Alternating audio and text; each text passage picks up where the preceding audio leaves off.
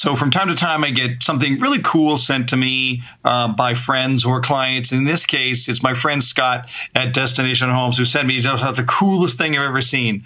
When I score a goal, doesn't happen often, but when I score a goal now in hockey, it'll be special because of this.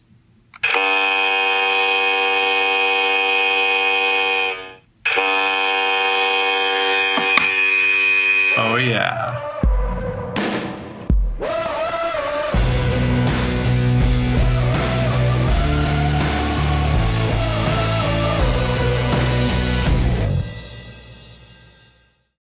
So, is there a preferred order in which you ask your discovery questions? Hmm, let's talk about it. Hey, Jeff Shore back with you. I got a, a, question from a client of ours. We teach a process for home sales. It's called the 4-2 sales process. If you don't sell homes and you're watching, don't worry about this. This will still make sense. But but we we teach the 4-2 sales process and you need to know that in order to understand the question. So here's the question uh, is uh, we understand the 4-2 sales process. In front of a real customer, however, my salespeople will sometimes jump ahead and jump around with their own questions. How important is it that the 4-2 is done in the designated sequence? Sometimes this is a challenge. Seems to me the point is to get the information and that the order is a secondary concern. It's a great point. I agree with you to some extent that the order is not the most important, but there are a couple of things to keep in mind. The first is this there is one question that rises above all others in regards to what is most important, and that is the motivation question. There is nothing more important to understand about a customer than why they are thinking about buying in the first place.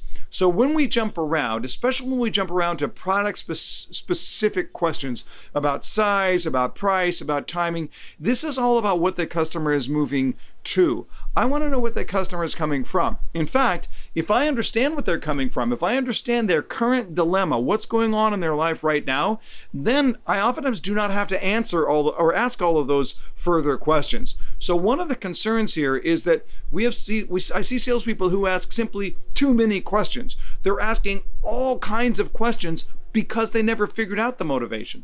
But if you understand why somebody is thinking about buying in the first place, if you understand the core of that and the emotion behind that, then what you're going to find is that you may not have to ask all of those other questions. So listen, am, am I is it critical that we're staying exactly in the right order? No, I don't want to get so heavily scripted on this, but it is best. It's the best way to do this. But in any event, start with that motivation question. Make sure you're asking that question very, very early in the process. I'm telling you right now, it's a game changer. When you don't understand the motivation question, everything else is, is missing that context. But when I do understand why are they thinking about buying in the first place, then all of those other questions make so much more sense. Let's weave that into the conversation. Let's weave it very, very early into that process.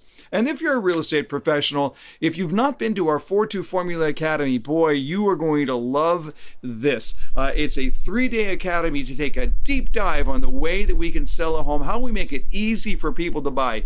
It is revolutionary. It is transforming. Those who have attended the 4-2 Formula Academy have reported immediate and dramatic uh, results in their sales pace. So you can go to jeffshore.com slash events and learn more about our 4-2 Academy.